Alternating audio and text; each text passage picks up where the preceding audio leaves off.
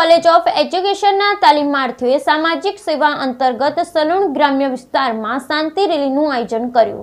શાંતિની શરૂઆત પોતાની જ થાય છે જેવા સૂત્રના સાર્થક કરતા વિમેડ કોલેજ ઓફ એજ્યુકેશનના તાલીમાર્થીઓ દીપિકા મેકવાના અને જ્યોતિકાએ સામાજિક સેવા અંતર્ગત શાંતિ રેલીના વિવિધ પ્રવૃત્તિઓ સભર એક દિવસીય કાર્યક્રમ હાથ ધર્યો. સૌ પ્રથમ આરસી મિશન શાળા સલૂણ ખાતે ધોરણ છ થી આઠના બાળકો માટે તેમણે શાંતિ વિષય અંતર્ગત પ્રવચન આપ્યું. શાળા પરિવાર દ્વારા બંને તાલીમાર્થીઓનું ઉષ્માભર્યું સ્વાગત કરવામાં આવ્યું. ત્યારબાદ બાળકોને શાંતિનું વિવિધ અર્થ સમજાવતી પ્રવૃત્તિઓ અને ઉદાહરણો હાથ ધરવામાં આવ્યા. ઉપસ્થિત તમામ બાળકોને શાંતિની પ્રતિજ્ઞા લેવડાવવામાં આવી. ત્યારબાદ તાલીમાર્થી દીપિકા મેકવાને શાંતિ અંતર્ગત સંદેશ આપી ધોરણ આઠના વિદ્યાર્થીઓ માટે શાંતિ ચિત્ર સ્પર્ધાનું આયોજન કર્યું. જેમાં બાળકોએ શાંતિને લગતા વિવિધ આબેહૂબ ચિત્રો, રંગકામ સહિત જાતે દોર્યા. બાળકોનું ચિત્રનું મૂલ્યાંકન કરી પ્રથમ, દ્વિતીય અને તૃતીય નંબરથી નવાજવામાં આવ્યા.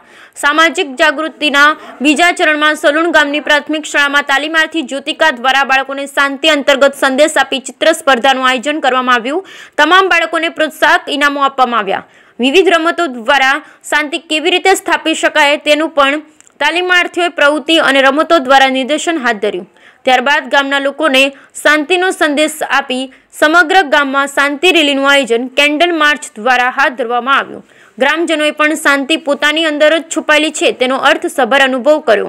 ગામમાં નાના મોટા ઘર્ષણ તો ચાલ્યા કરે, પરંતુ તેનાથી ગામની સમાજની અને વ્યક્તિગત શાંતિ ન ડહોળાય તેવી તાલીમાર્થે ઉપસ્થિત સર્વેને પ્રતિજ્ઞા લેવડાવી. સમગ્ર દિવસ દરમિયાન શાંતિ અર્થે યોજાયેલ આ જાગૃતિ કાર્યક્રમ સાચા અર્થમાં અર્થસભર બની રહ્યો. અત્રે ઉલ્લેખનીય છે કે હાલની સાંપ્રત પરિસ્થિતિમાં લોકો શાંતિ માટે વિવિધ અવનવા પ્રયાસો હાથ ધરે છે.